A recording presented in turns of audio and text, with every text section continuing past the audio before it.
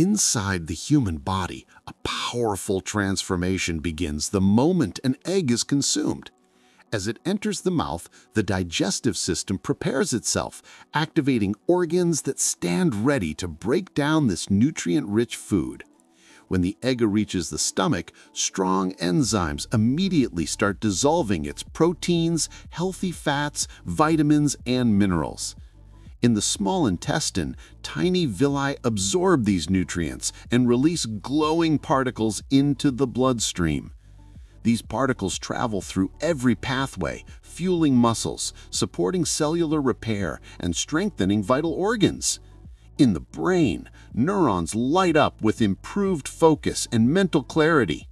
Muscles receive a fresh dose of amino acids, boosting strength and recovery the gut microbiome becomes more balanced and active. Yet, for some individuals, eggs may trigger irritation, allergic responses, or drops in energy. This is the journey of the egg inside the body, a blend of remarkable benefits and possible sensitivities.